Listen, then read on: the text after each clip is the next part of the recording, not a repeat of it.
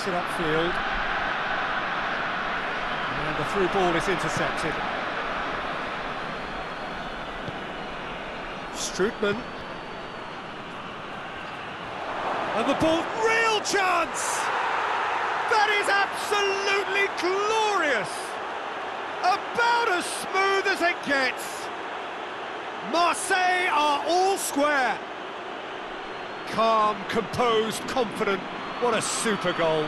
Ah, that's just clever. He made the keeper think he was going one way, only to outfox him by going the other. Very nice.